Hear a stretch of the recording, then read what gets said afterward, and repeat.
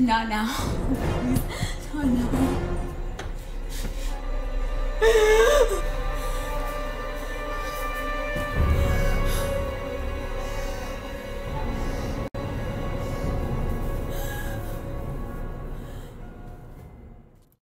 Can you imagine what it would be like if breathing required effort?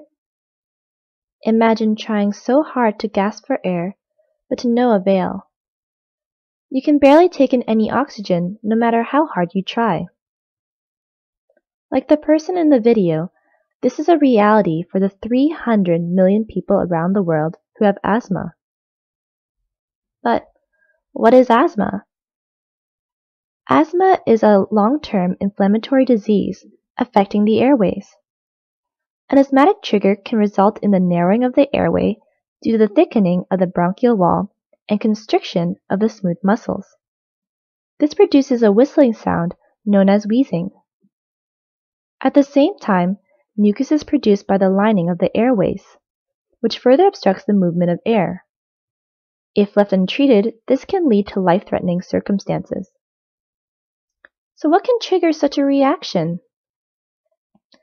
Asthma is thought to be caused by genetic and environmental factors. While the genetic mechanism of asthma is not well established, two environmental factors that can trigger asthma are allergies and viral infections leading to airway inflammation.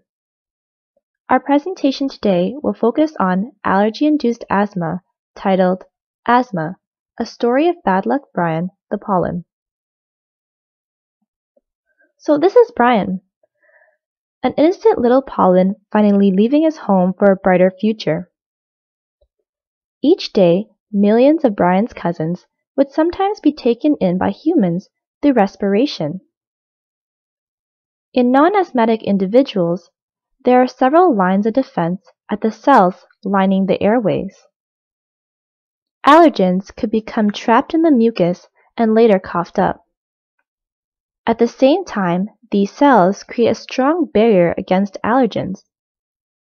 Despite the efforts, some particles may bypass these defenses. In these instances, the immune cells, acting as bouncers, would check for potential threats to our health. Once their innocent status is established and they are deemed non-threatening, the individual's immune system carries on and there is no allergic reaction. However, Bad Luck Brian, as some of his friends would like to call him, did not know what waited for him when he set out on his journey traveling to the human airways. That day, anything that could have gone wrong had gone wrong. To start off, Brian happened to be sampled by an angry immune cell.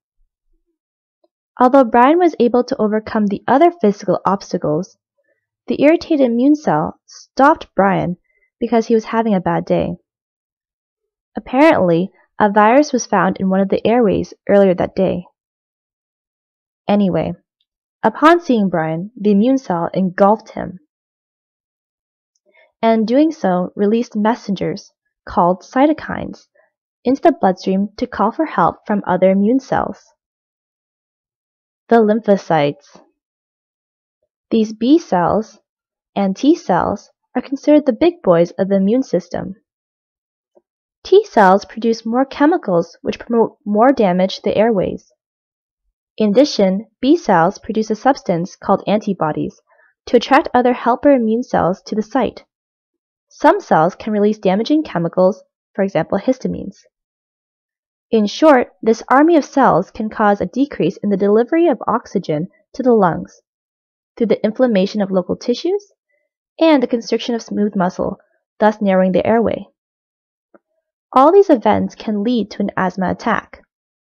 So will the same trigger result in an asthma attack? Unfortunately, lymphocytes are experts in holding grudges. Once a bad image of Brian is established, any particle resembling Brian can initiate the same reaction. This is the story of how asthma emerges.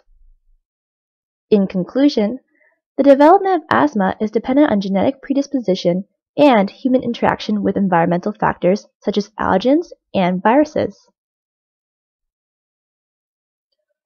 Thank you.